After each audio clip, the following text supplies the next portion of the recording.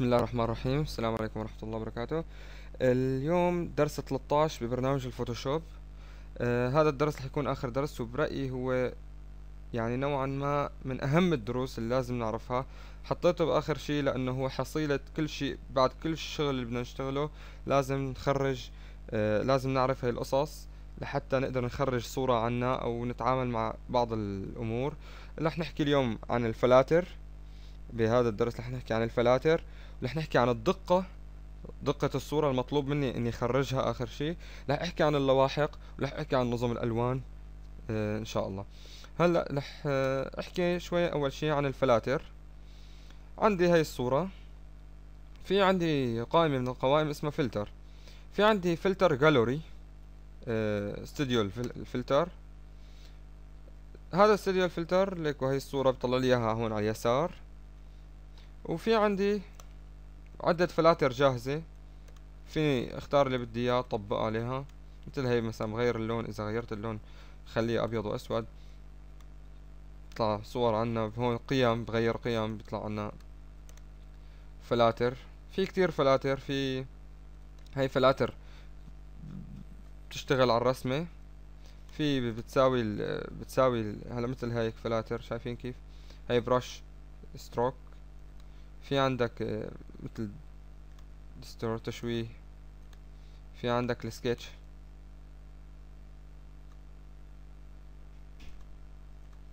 هاي السكتشات بتصير في فيني اسويها حتى رسمة. هاي في فلتر من الفلاتر بسوي لي إياها رسمة. أحيانا بنستغرب إنه إيه كيف راسمها؟ هي برصاص قلم رصاص وكذا. هي عبارة عن فلتر من الفلاتر.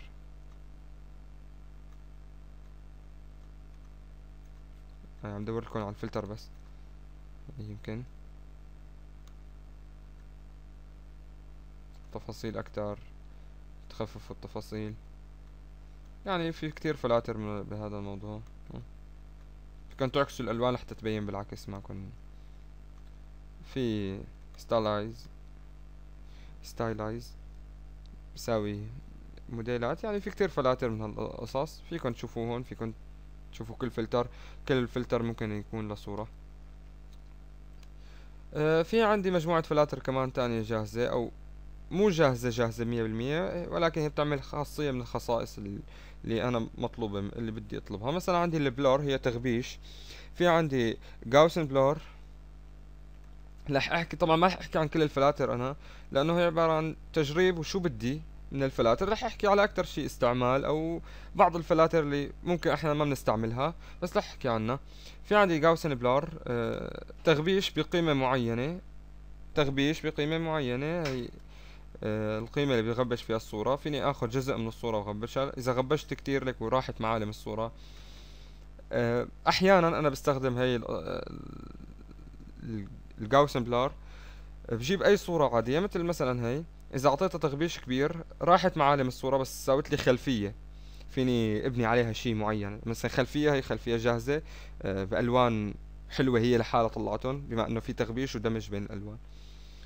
في عندي آه، فلتر تاني بال blur مثلا رح هاي box blur تغبيش بشكل مربعات لاي lens blur وكذا. في رح اخذ motion blur motion blur هون باخذ حركة التغبيش. كل ما بزيده هو برج الصورة بالزاوية اللي أنا أعطيته إياها مثلا 42 ال angle تمام؟ 42 ال angle. ف بي بي بيعمل آه، تغبيش ولكن بشكل حركة إنه motion blur كل ما بزيده بيتحرك أكتر. يعني شوفوا إذا بزيده كمان بيعمل لي خلفية من نوع جديد. ممكن إنه هيك استخدمه يعني كفكرة. في عندي noise ضجيج. إضافة ضجة قيم ضجة يعني ال noise هذا بيطلع. حكينا عنه مرة. أه رح أحكي عن ال render. ال render فيه شغلات حلوة clouds أه ممكن نساوي غيوم أبيض وأسود. طبعا هون بالألوان هاي بحدد شو بدي الألوان تبع الغيم. في عندي مثلا آه، هاي difference clouds من نفس الصورة اعمل آه، غيم. في عندي مجموعة كمان خيارات. رح أحكي على آخر واحدة مثلا light effect lighting effect lighting effect مثل بعد ضوء مساحة من الضوء هيك تسليط ضوء. شوفوا شلون. شايفين؟ أي.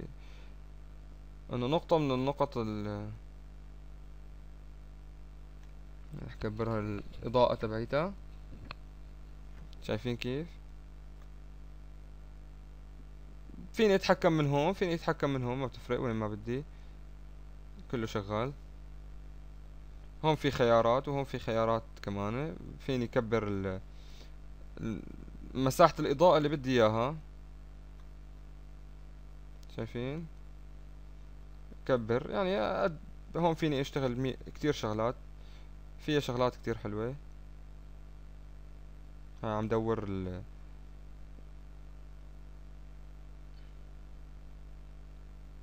شايفين كيف؟ فيني اشتغل اللي بدي إياه إضاءة معينة. في عندي كمان آه ال sharpen تح يعني بساويها حواف حادة أو بساوي الصورة حادة أكتر. stylize آه رح أحكي في كتير ستايلات وهيك. قصص رح أحكي عن ال wind مثلا الرياح تعمل الصورة رياح إذا متفرج هون ليك شلون؟ إذا حطيت okay. شايفين كيف؟ رجت الصورة بشكل رياح.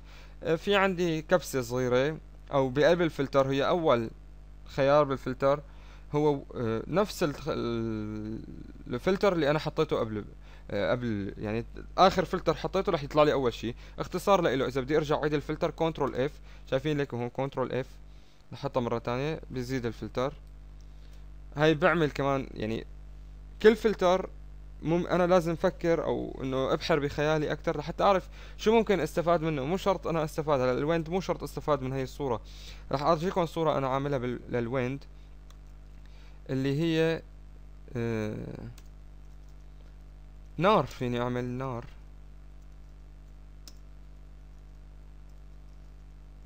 آه بس أرجيكم إياها الصورة.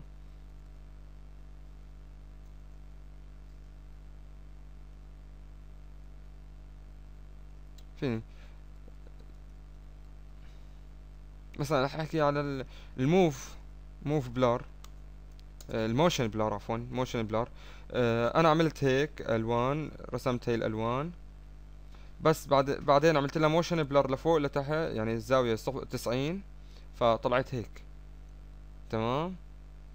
فهي إنه حاول أستخدم ال blur أو أي أي شيء بالفلتر لشيء أنا حابب أساويه يعني بخترع اختراع بأفكار. هلا هي اللي حكيتهم عن الفلاتر بشكل عام ما لفتت فيهم في عندي فلتر مثلا هون التشويه distort distort آه مثلا زيك زاك بيعمل لي زيك زاك للصورة. هاي الصورة إذا بشوفها أنا هون ليكا عم يعمل زيك زاك للصورة. حطيت okay بيطبق الزيك زاك أي شي بالفلاتر في كتير شغلات. حاولوا تشوفوهم كلهم. مو كلهم ما في داعي تشوفوهم كلهم. شوفوا أكبر قدر ممكن لتعرفوا شو ممكن تستفيدوا منه. هلا رح أحكي عن شغلة تانية اللي هي دقة الصورة. طيب أنا آه، بدي آخر شي خلصت. أنا بدي أحفظ هاي الصورة بدي اخرجها بدقة معينة. تمام؟ هلا رح أعمل أنا file new لحتى أشوف الدقة وين بتطلع. دقة هون ليك ال resolution أنا بحدد الدقة من هون. طيب أه 300 ولا 200 ولا 72 ولا شو؟ شو لازم حطه؟ طيب هلا رح أختار اختيار عشوائي مثلا أنا عامل كفر للفيس أه مشان إذا بدي أسوي كفرات حاطط حافظ بقيمة معينة طول والعرض والدقة أنا حاططها 100 حاطة 100 هيك لأنه أنا فيني حطها 72 نفس المية رح تطلع لأنه عم رفع على النت. معناتها رح استنتج صورة. هلأ رح رح شوف أنا شغلة تانية. ليك هي ويب.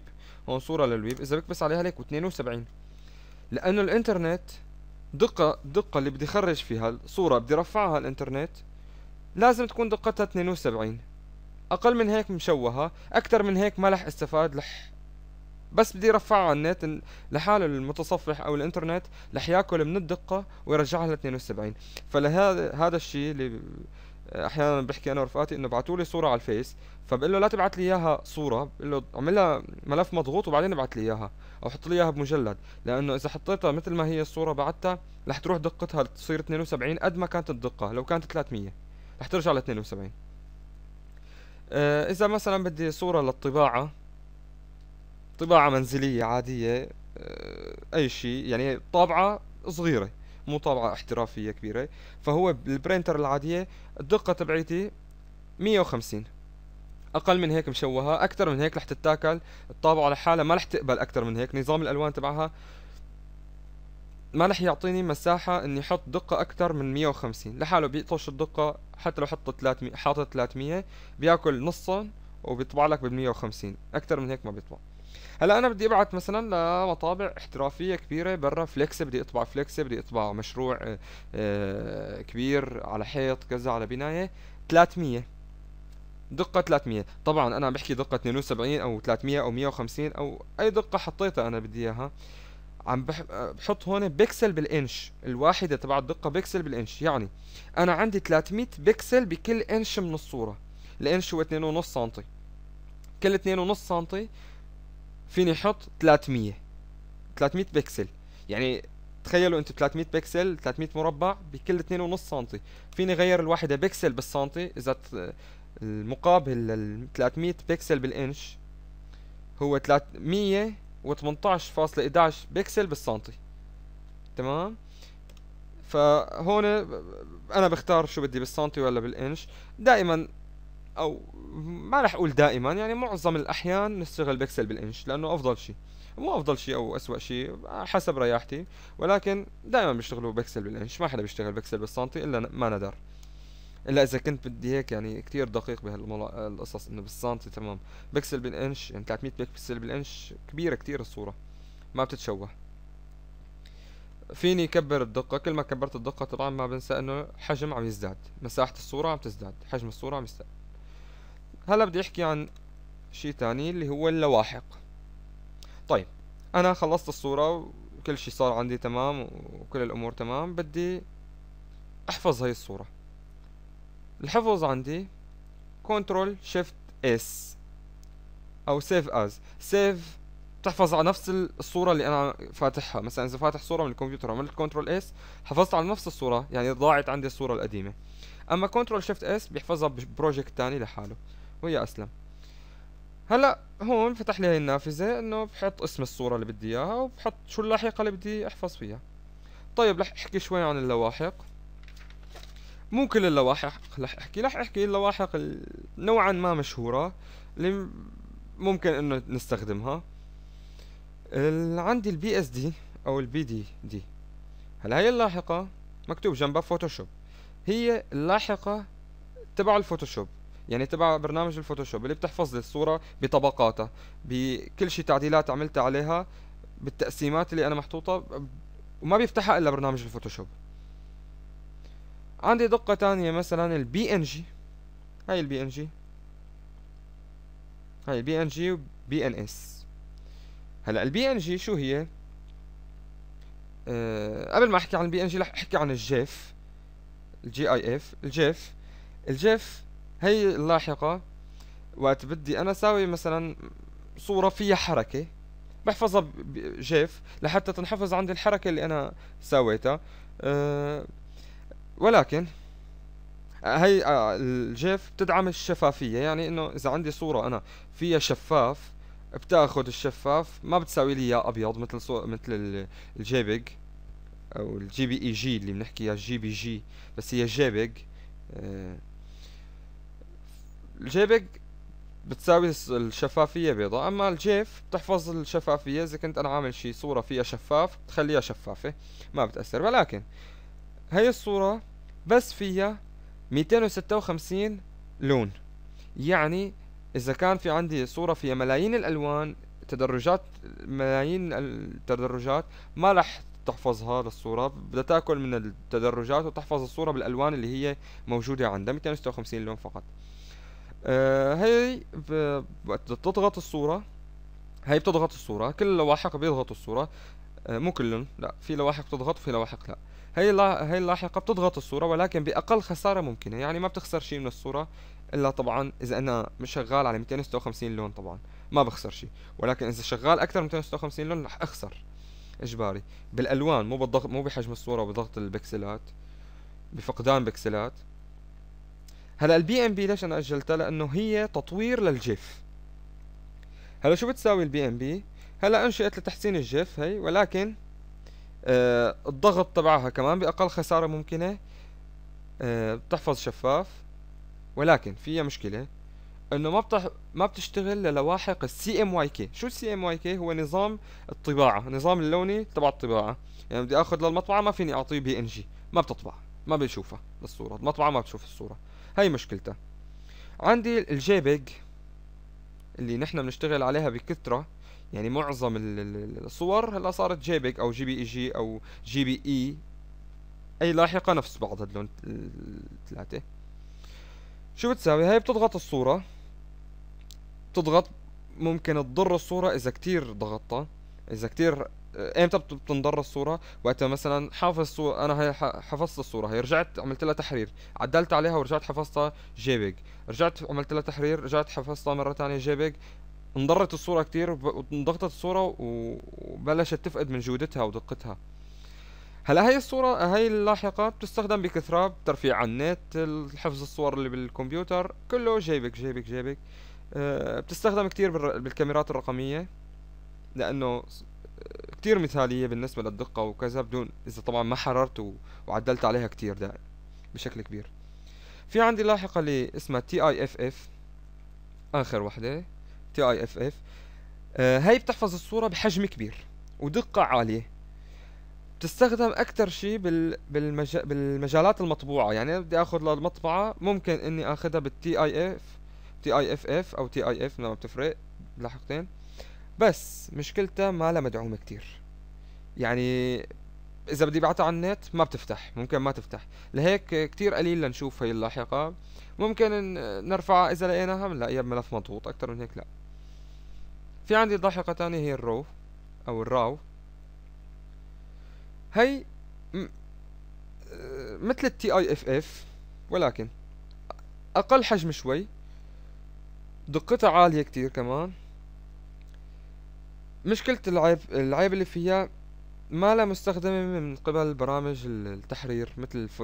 هلا برنامج الفوتوشوب بيشتغل عليها مثلا بجوز خدها على برنامج تاني ما الرسام البيكاسا الكذا هدول برامج كمان تحرير صور فينا نقول. آه ما بت... ما بتشتغل مثلا. هي اللاحقة ما بيقراها. هي مشكلتها كبير. آه بفضلها ال... هي اللاحقة مين؟ المصورين. المصورين لأنه هي الصورة بتعطيك الألوان مثل ما هي ما بتضوع شيء من الألوان خصوصي آه ال focus أو focus الألوان آه، focus الصورة ما ما بتأثر عليها ما بتأثر على نظم الألوان شدة الإضاءة البياض كذا. هاي بتس... كتير بتحافظ على هاي القصة. آه اللي بيستخدمها كتير بتستخدم هاي اللاحقة كتير مع تقنية ال HDR ال HDR هي خصوصية للمصورين يعني ما فيني ما راح أتطرق عليها هلا بما إنه ما كتير نحن لنا علاقة بالتصوير. ولكن المصورين اللي بيحب اللي بيشتغل بمجال التصوير وحابب يفوت بالفوتوشوب الراو آه الراو آه لاحقة كتير ممتازة لل HDR هي مشان الحفظ. هلا بدي أحكي عن نظم الألوان. طبعا كمان مو كل نظم الألوان اللي أحكيها رح أحكي عن بعض النظم اللي ممكن نستخدمها ممكن نستخدمها مو كمان اللي بدي احكي مو شرط نستخدمه. ولكن اللي بيحب يتعمق بنظم الألوان موجود كتير على النت وأنا لاحظت بالمدونة كمان آه، ملف عن نظم الألوان إن شاء الله اللي بيحب يتعمق فيهم. كتير حلو التعمق فيهم. رح أحكي مثلا عن ال gray ستاي ال gray scale ال gray من اسمه رمادي. يعني بتحول لي الصورة أنا بصير بنظام الألوان الرمادي. يعني يا أبيض يا أسود يا رمادي وتدر بين الأبيض والأسود وتدرجات بيناتهم. يعني أنا إن شاء الله بحط هاي gray تمام؟ بحله ماشي. صارت أبيض وأسود. جيب فرشاية. جيب اللون الأحمر لون ما بيطلع أحمر. بيطلع رمادي لأنه بنظام الرمادي. ال RGB الألوان اللي عندي ال red green blue نظام الألوان الضوئية نظام الوان الشاشة اللي عندي إياهم. ال RGB الضوئيه ال CMYK نظام ألوان الطباعية cyan magenta yellow black. سماوي آه، ارجواني آه، yellow أصفر black أسود. آه، نظام ألوان طباعية. هي وقت بدي آخذ على مطبعة أنا حك حكما لازم آخذ لها سي ام واي كي الار جي بي بتطلع ألوانها مو ظابطة ابدا. CMYK لأنه الطابعة فيها أربع محابر إذا بنتفرج على الطابعة افتح الطابعة شوف المحابر اللي عندي. في أربع ألوان. الأسود والأحمر. أه هلأ المطابع البيتية غير المطابع الاحترافية. المطابع البيتية عم تستخدم RGB ما بيأثر. أه المطابع الاحترافية ما فيها RGB. فيها أربع نظم فيها أربع محابر. هي CMYK. وخصوصي هدول بيشتغلوا بفرز الألوان. هن بيفرزوا ألوان بلاك بيطلعوا بلاكات CMYK. كل بلاك بلون بهذا اللون. في عندي ال Lab. ال Lab هذا نظام جديد حلو آه، مطور هو نظام الألفا. أه حول صورتي لل Lab ما اختلف شيء ولكن رح أفتح هون الألوان لحتى نشوف هون فيني نشوف نظم الألوان. ال Lab ليكو Lab L A B تتفرج على ال R RGB RGB تدرج ألوان عندي ل 256 عندي تقاطعات الألوان ممكن تفقد من درجات الألوان اللي بدي إياها. مثلا تقاطع بين هون وهون ممكن أفقد الألوان. بس رجع الصورة خليني بس زي شوي.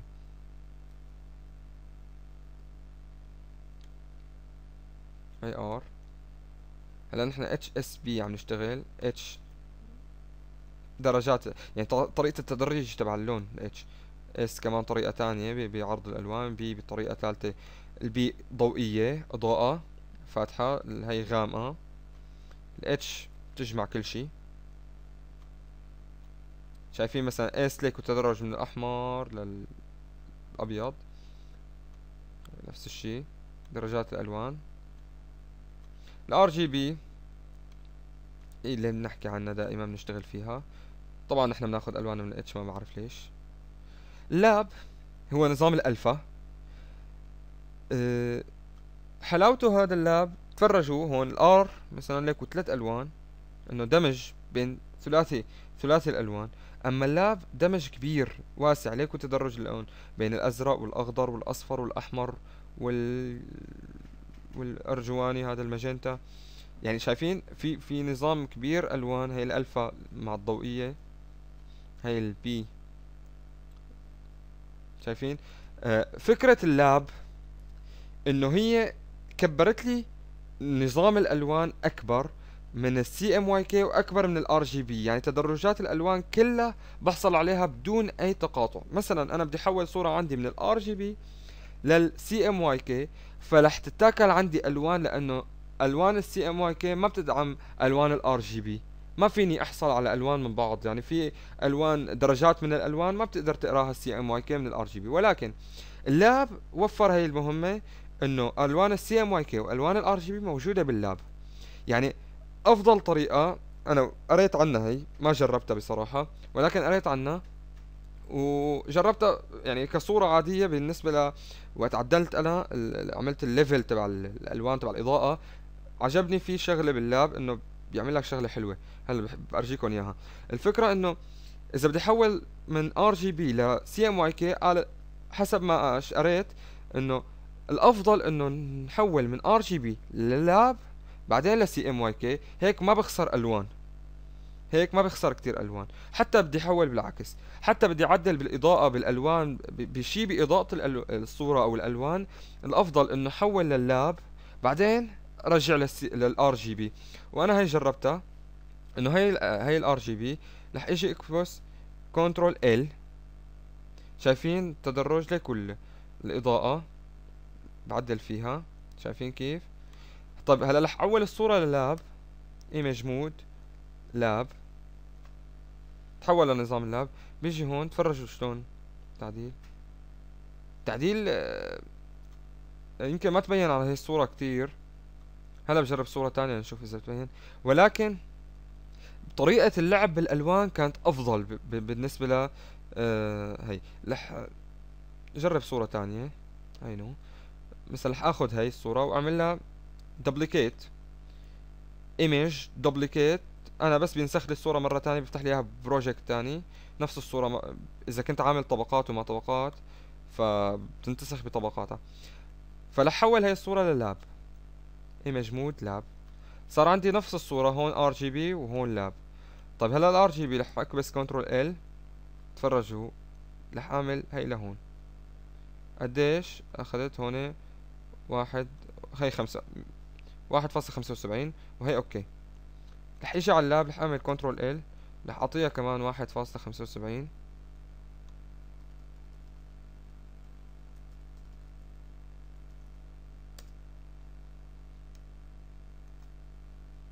تعديل ال Lab كان أفضل من تعديل ال RGB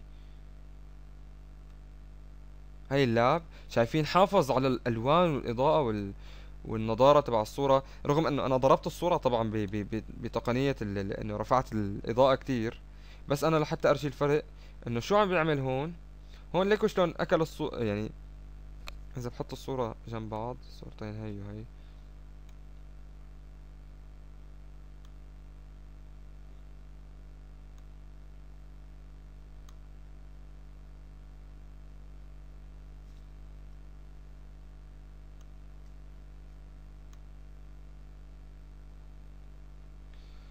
هاي الصورتين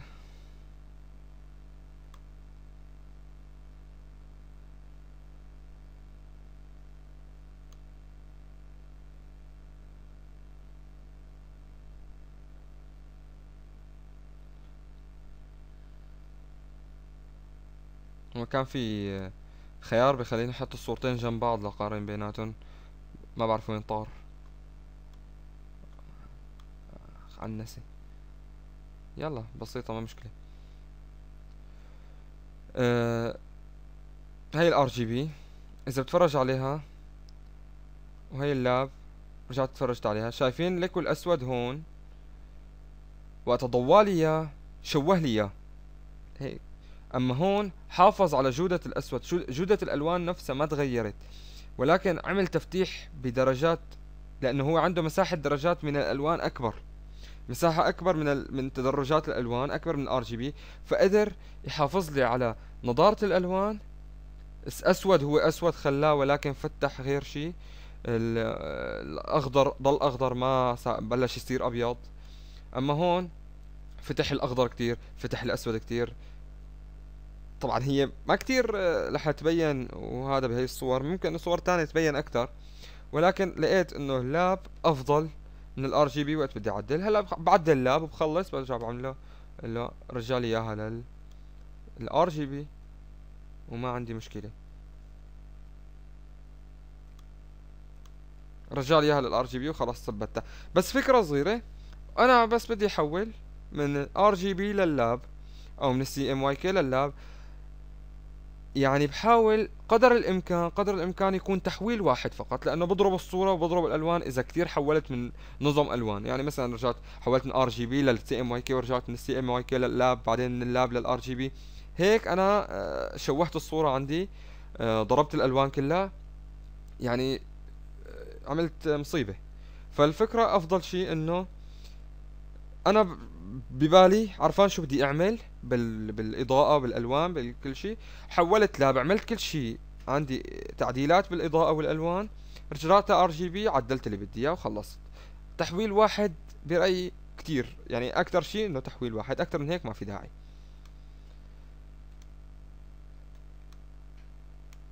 ممكن هي الصورة نجرب ال Lab عليها.